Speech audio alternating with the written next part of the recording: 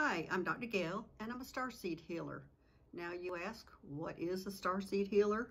Well, today I'm going to try to explain it a little bit. Um, my background is that I am a nurse, and I did work in the operating room dealing with open heart surgery and neurosurgery, which is dealing with the brain and the back and the nervous system. And also, then I went back to school to become a chiropractor and um, I have retired from both of those careers, which I absolutely love. Both careers I absolutely love. And while I was in those careers, I did start investing in real estate. So right now I am a real estate investor. Um, I have started the next career, which is um, being a star seed healer.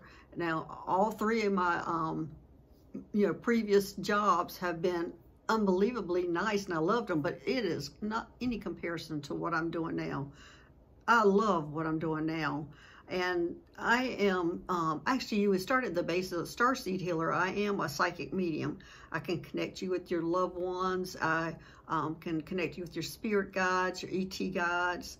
And also, I have um, the foresight or the information of if you are um, trying to figure out what path you need to be taking on trying to help people, um, I can help you with that. I have um, my guides tell me what direction you need to go in, if you need to be a medium, a, um, a pet psychic, or any of those um, ways that you need direction you need to go in. I can connect to your guides and figure out with you what direction you need to go in because there's so many out there that have gifts and just don't know which way to go, and I can help you with that.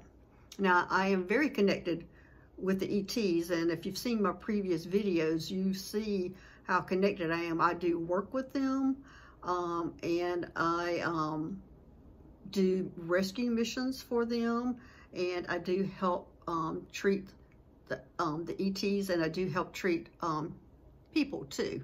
And what I am specializing in is helping people get um, through their issues with being having alien abductions and having things that have been done to them like they've got a negative entity or implant I do go in and remove those things and get rid of the entity so they can go ahead and help go ahead and send and usually these are people who are looking um, for um, to help others and just can't get over the next hurdle of these things that have been done to them or the negative entity around them.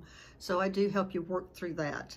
Now, when that person comes to me, it's usually a referral from, um, you know, a shaman, a Reiki healer, um, any avenue. These people usually refer me when the person is not progressing on their journey and they're stuck. And that they're, they're seeing that they're stuck at one level and there might be something holding them back.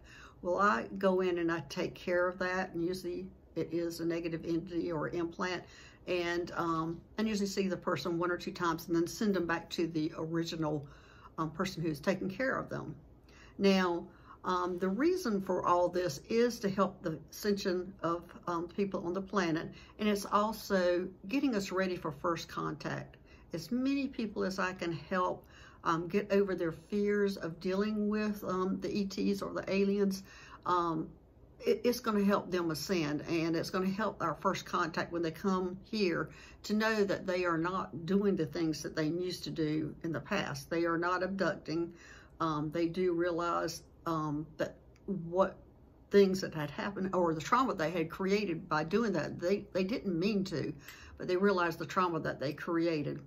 So my, my, that's my story on what a starseed healer is. Now, my name was given to me by my guides and by my ET friends that that's what I am. They, they were saying you're more than a psychic medium. You do communicate with the ETs and you do, you have the ability to um, do these other things like removing the implants and get rid of dark entities. And also I can help the person try to figure out what they're needing to do, their next step in their future. Anyway, my name is Dr. Gail. I'm a Star Starseed healer, and this is for entertainment purposes only. Thanks. Bye-bye.